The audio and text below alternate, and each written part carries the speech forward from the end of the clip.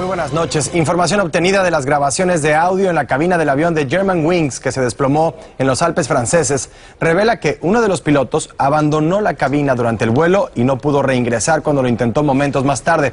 Detalles de la grabación obtenidos por el diario The New York Times sugieren que el piloto tocó varias veces la puerta sin respuesta y que trató incluso de entrar por la fuerza sin conseguirlo. Vilma Tarazona hace el dramático recuento de los últimos minutos del vuelo 95-25. La caja negra recuperada de entre los pedazos del avión que se estrelló en los Alpes y que grabó los últimos minutos de las conversaciones entre piloto y copiloto arrojó las primeras revelaciones.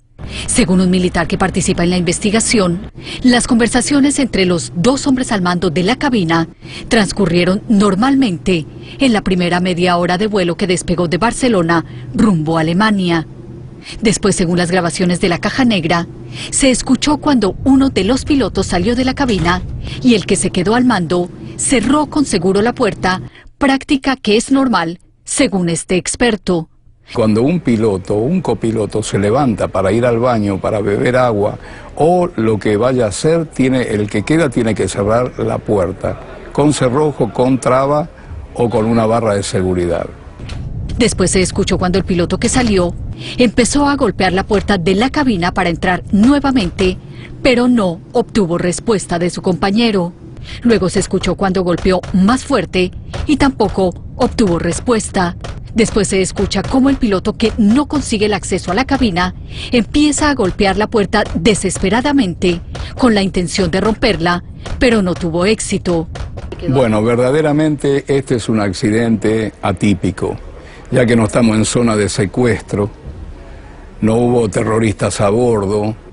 Pero, ¿qué pudo haber pasado dentro de la cabina del avión para que el piloto no le permitiera la entrada a su compañero de vuelo? Acá tendríamos que especular que el piloto que quedó dentro de la cabina al mando del avión no abrió la puerta por razones quizás de salud, como puede ser un desmayo, un ataque al corazón, Aseguran los expertos que en estos casos no hay que descartar hasta las teorías más terribles con base en accidentes anteriores como el del suicidio. Se dice, por ejemplo, una aerolínea eh, egipcia donde se dice que el comandante fue el que estrelló el avión contra el mar matando a todos sus pasajeros.